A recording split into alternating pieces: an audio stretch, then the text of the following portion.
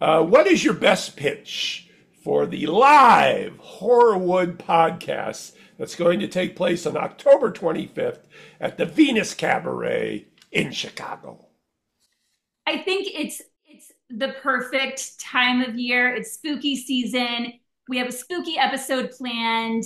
It's got some haunted stuff. It does have some true crime stuff. It's got the entertainment industry. It's got a very strong Chicago connection. And I think even if you're not into true crime, you're going to have a good time. Going to be an entertaining evening. Kate and I love talking to each other. I feel like we have a good energy. It's going to be a lot of fun. There's going to be a lot of a few surprises here and there. Um, you might get a gift. Who knows? There might be a drinking game.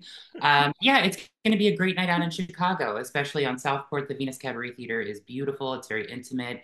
Come have a few drinks and let's talk. let's talk Horrorwood.